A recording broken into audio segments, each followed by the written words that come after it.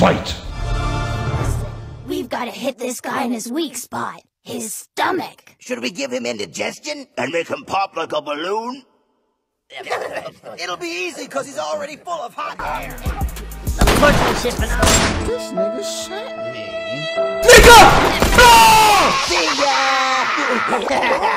Nigga!